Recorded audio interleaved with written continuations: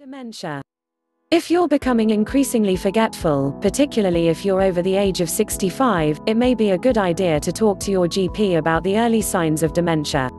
As you get older, you may find that memory loss becomes a problem. It's normal for your memory to be affected by stress, tiredness, or certain illnesses and medications.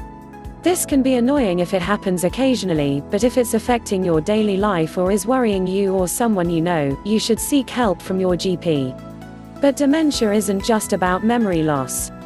It can also affect the way you speak, think, feel, and behave.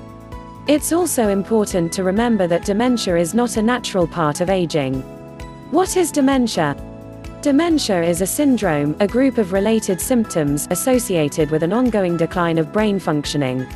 This may include problems with memory loss, thinking speed, mental sharpness and quickness language, understanding, judgment, mood movement, difficulties carrying out daily activities.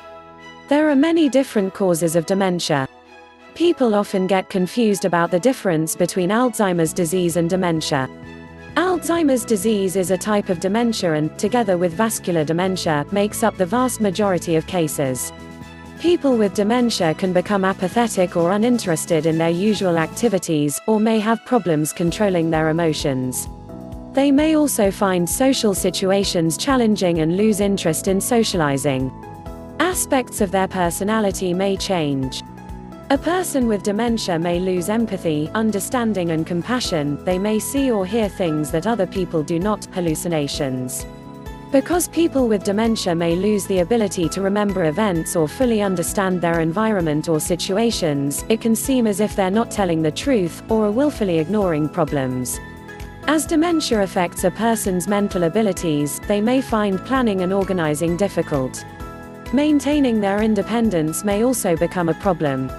A person with dementia will therefore usually need help from friends or relatives, including help with decision making. Why is it important to get a diagnosis? Although there is no cure for dementia at present, if it's diagnosed in the early stages, there are ways you can slow it down and maintain mental function. A diagnosis can help people with dementia get the right treatment and support, and help those close to them to prepare and plan for the future. With treatment and support, many people are able to lead active, fulfilled lives. The symptoms of dementia tend to worsen with time. In the much later stages of dementia, people will be able to do far less for themselves and may lose much of their ability to communicate. How common is dementia? According to the Alzheimer's Society, there are around 850,000 people in the UK with dementia. 1 in 14 people over 65 will develop dementia, and the condition affects 1 in 6 people over 80. The number of people with dementia is increasing because people are living longer. It is estimated that by 2025, the number of people with dementia in the UK will have increased to around 1 million.